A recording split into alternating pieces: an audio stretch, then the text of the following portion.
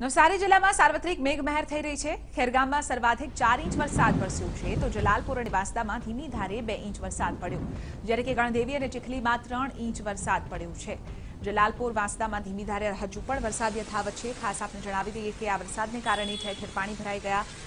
જલાલપુર ગણદેવી ચીખલીમાં ત્રણ ઇંચ વરસાદ નોંધાયો છે